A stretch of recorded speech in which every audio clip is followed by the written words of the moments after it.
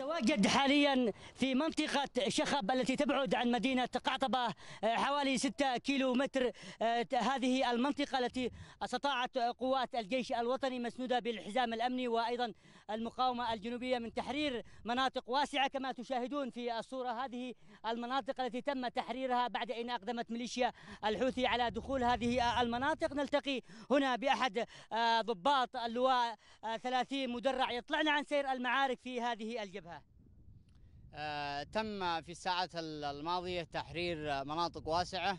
آه تحررت مناطق واسعة مجاورة إلى قعطبة حتى وصلنا إلى آه منطقة شخب.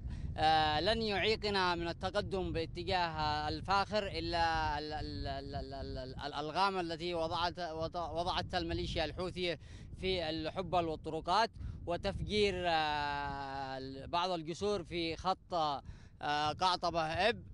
إذا كما سمعتم الميليشيا تستخدم العبوات وتفجر الطريق كما هو الآن. أتمنى من المصور أن يلتقط هذه اللقطة.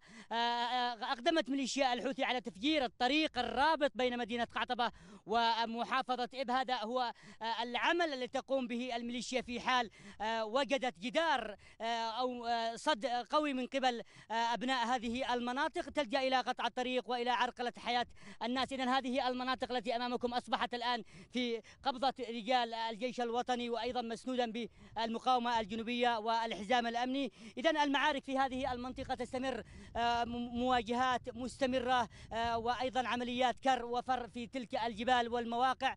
هناك دعوة لأبناء مدينة قعطبة للعودة إلى منازلهم للعودة إلى هذه المدينة التي أصبحت محررة بالكامل.